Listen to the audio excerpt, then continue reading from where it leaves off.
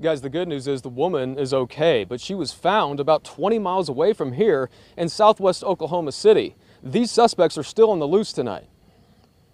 She was found by one of our deputies a little while later, approximately 40 minutes later, she was found. Before she was found safe, the Oklahoma County Sheriff's Office says a 43 year old woman showed up in this parking lot in front of a local coffee shop. And soon after, masked men took her in broad daylight. Uh, forced into a vehicle by three men wearing ski masks, possibly with guns. Investigators think these suspects were after her specifically. We do not believe this was a random kidnapping. Uh, we do believe that it was a targeted kidnapping. At this point, we believe the motive might have been robbery, but we're trying to figure out all the details. The woman was found on South May, not far from Southwest 104th in OKC, over 20 miles from the shopping complex at Northwest 178th and MacArthur in Edmond. Investigators are asking why, with no clear motive yet.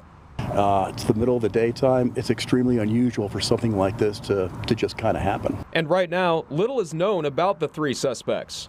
They're black males. Uh, they were wearing masks, and that's, that's about all we know at this point. Now, the sheriff's office also says they're investigating how this woman got away from these suspects. We're told to expect more details at the start of next week. In Edmond, Jason Berger, KOCO 5 News.